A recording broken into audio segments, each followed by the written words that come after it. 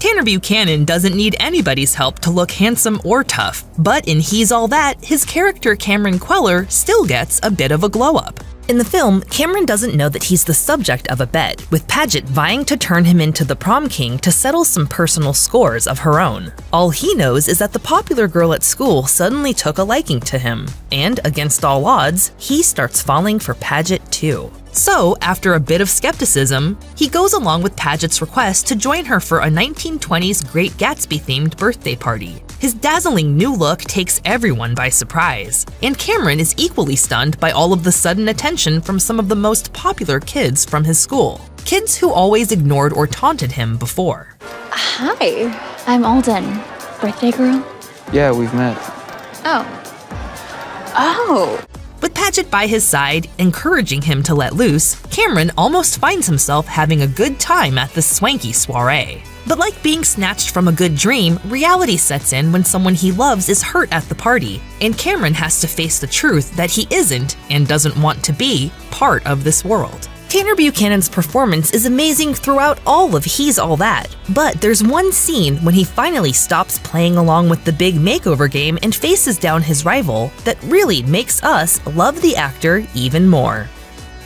Even before he gets close to Padgett, Cameron already has a bit of a rivalry going on with her ridiculous ex boyfriend Jordan.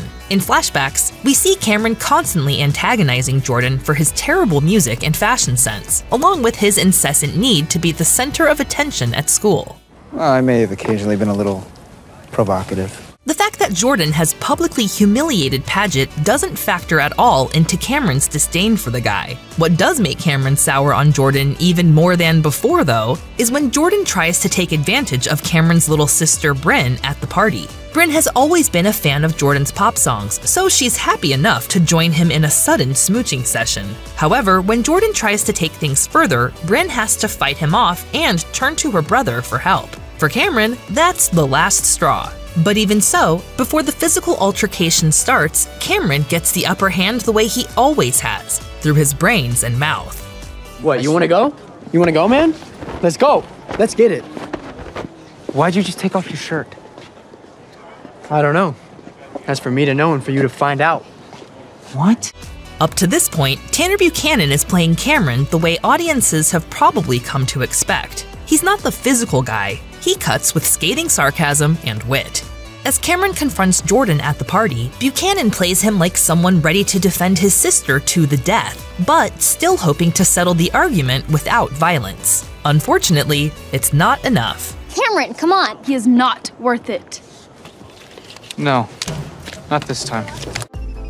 This time, Cameron isn't going to just take his licks from Jordan, not with his sister's dignity on the line. This is where Tanner Buchanan really starts to surprise the audience with his performance, even while sticking to Cameron's self proclaimed philosophy of pacifism. He never throws a blow and still takes Jordan down without breaking a sweat. It ends up making the fight even more thrilling to watch.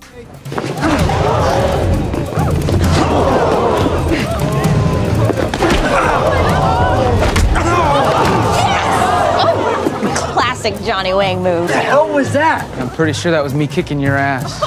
As Buchanan's fans know, the actor is trained in Taekwondo. His fighting skills have become something of a centerpiece in Cobra Kai, the hit Karate Kid sequel series featuring him as Robby Keene. So it's only fitting that He's All That features a few of his celebrated maneuvers. Like Robby Keene, Cameron has clearly adopted the Miyagi Do philosophy of letting his nemesis strike first and then striking back harder. Unlike Robby, though, Cameron hasn't learned to fight in a dojo. He's picked up his moves from martial arts movies. Right. Sounds like more sweaty dudes kicking each other in the nads.